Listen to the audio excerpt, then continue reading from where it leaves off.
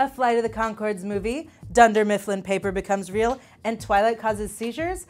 I'm Yael with the Scoop in today's ReelTV News. After rumors of the Arrested Development movie and talk of a Doctor Who movie, the latest show to jump on the trend is musical comedy Flight of the Conchords. The real question is would you watch a Flight of the Conchords movie? The Office fans rejoice. According to the Wall Street Journal, Staples will be carrying real Dunder Mifflin paper. The Scranton made paper is a little bit more expensive than regular copy paper, but who wouldn't want a little Dunder Mifflin in their life? The Twilight Saga Breaking Dawn Part 1 may be the number one movie at the box office, beating out family friendly movies Happy Feet 2 and The Muppets. But according to The Hollywood Reporter, a scene from the film is causing seizures.